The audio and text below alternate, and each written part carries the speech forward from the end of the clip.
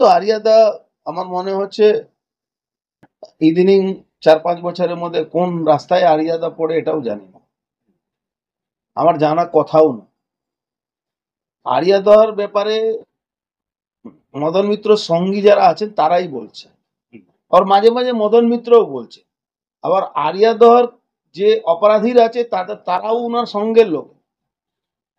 আমি পড়ে আছি আমি একটা রাজনৈতিক দলের কর্মী হিসাবে আরিয়াদর নিয়ে প্রশ্ন করলে রিপোর্টারদের কাছে মুখ খুলে বলতে পারি, সাহস করুন। ওনার মতন আমি কান্নাকাটি করার লোক নেই, কি আমাকে গুলি মেরে দেবে, আমাকে মেরে দেবে?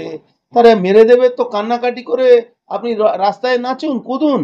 আপনি মমতা ব্যানার্জির কাছে গিয়ে সারেন্ডার করে যান রিজানেশন দিন। ভারতীয় জনতা পার্টি প্রাইমারি মেম্বারশিপ নিন। আপনাকে আমরা রক্ষা করে দেব, কোনো অসুবিধা নেই।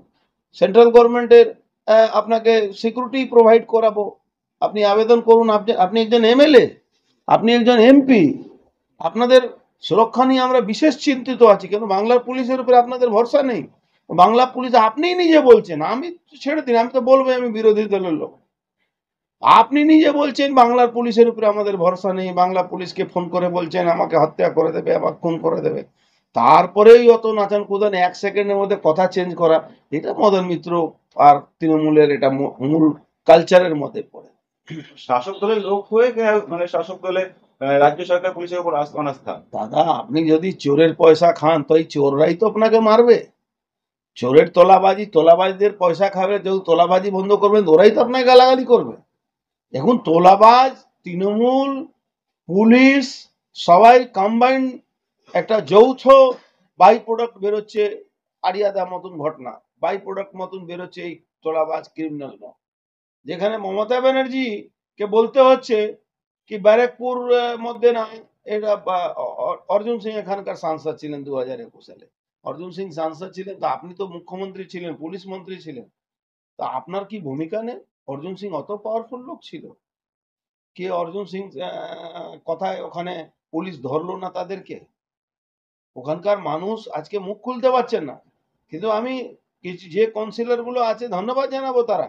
কিছু এক্স কাউন্সিলরও মুখ খুলেছে। তারা একটা সময় তৃণমূল কংগ্রেসের হয়ে লড়াই করে মার খেত সিপিএম এর হাত থেকে তারা তো আজকে কথা কথা বলছে তারা প্রকাশ্যে কথা বলছে। বিমল সিং মুখ খুলেছে।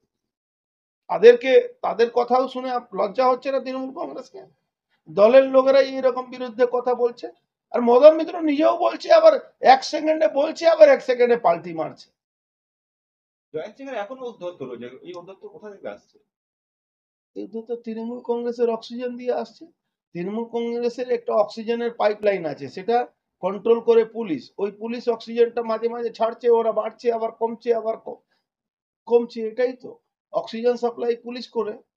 আপনি চলে যান না ব্যারাকপুর এ আপনার চিড়িয়া মোড় থেকে দমদমে। রমরমা, মদ, লোটো টোটো অটো সবই তো ওই নিয়ে তোলাবাজি চলছে।